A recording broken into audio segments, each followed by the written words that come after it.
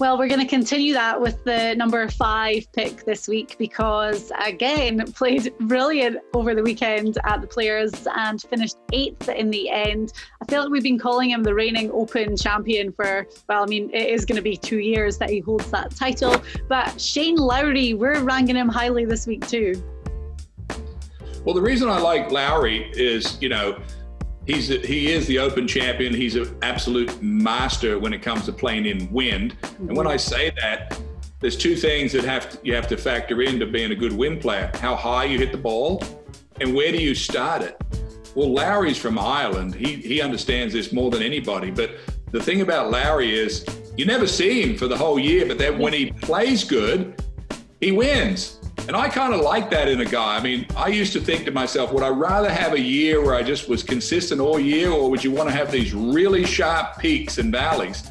Well, I don't know what I want, but I know this about Lowry. He's peaking right now.